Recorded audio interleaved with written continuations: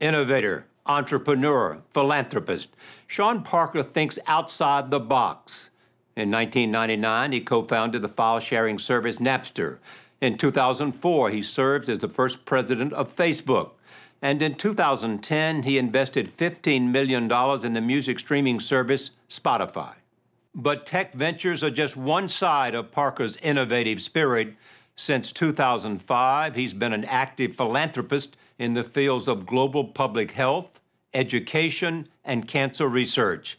In early 2016, Parker invested $250 million to create the Parker Institute for Cancer Immunotherapy, supporting over 300 scientists at 40 labs at six research institutions. But thanks to Sean, the Parker Institute is about more than philanthropy. It's also about taking the lead to expedite new cancer therapies through the bureaucratic pipeline to the patients who need them the most. Parker wants to get things done and get them done right. Sean and I met in my White House office, and his first question he asked me was, How can I help? He then explained his vision harness the power of collaboration and big data in order to accelerate research and deliver cures for cancer.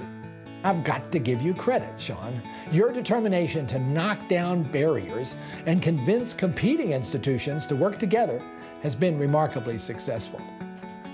The six centers that have agreed to share information freely with each other in your institute, among the most highly productive institutions working on cancer research in the world, have now banded together to accelerate research progress in ways that simply would not have happened if everyone stayed in their separate corners. We're at an inflection point in our fight against cancer and cancer research. But to take full advantage of the immense possibilities at hand, we need greater collaboration across our great cancer research centers. And that's what Sean set up. That's what you're already doing. Sean, you represent the best of the next generation of research philanthropists. You are indeed a force to be reckoned with. Keep pushing us, and thank you for your vision. Sean, I know your goal is to end cancer as we know it. And what I like about you is you've always been guided by the belief in possibilities. The possibility, if we bring to bear our enormous capabilities, the ones we possess, have in our own hands, there's very little we can't do.